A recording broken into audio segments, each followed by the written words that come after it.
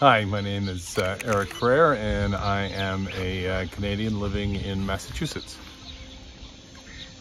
I've been using a lot of uh, Phase One's uh, XT camera with the IQ4 back, uh, mostly for landscape and it's it's incredible. The, the resolution of the 150 megapixel just blows your mind.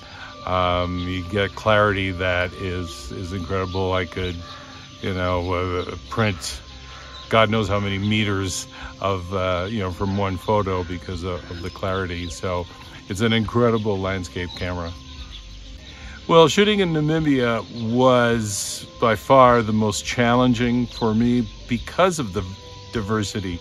Every day we were doing something different, whether it's astral uh, photography or early morning uh, landscape or uh, going into um, spending time with uh, Bushmen.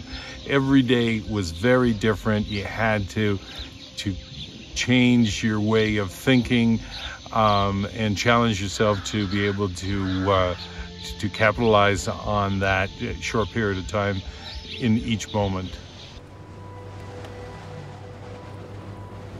Visiting the uh, the ghost town of uh, Kolmanskop uh, was also something that I'll always remember.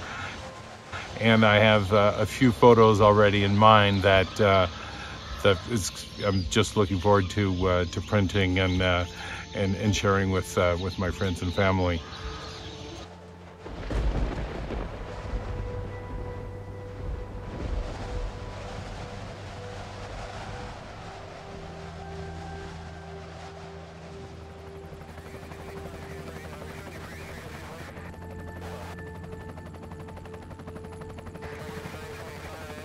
Um, I went for a helicopter ride this morning and uh, shot mostly with the uh, the IQ4 handheld in an open helicopter.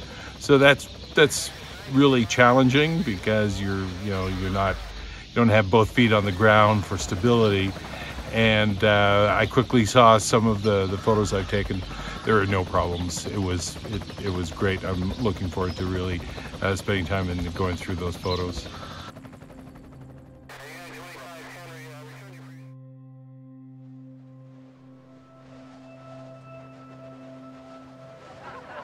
This is my sixth workshop with uh, Better Moment.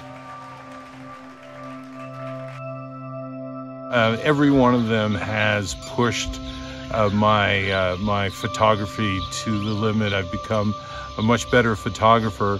Uh, the one in Namibia has pushed me the furthest uh, because of the diversity and and it wasn't different from other Better Moments workshop where we concentrated on certain aspect of photography. This one pushed me in uh, in virtually every aspect. So that was that was fantastic.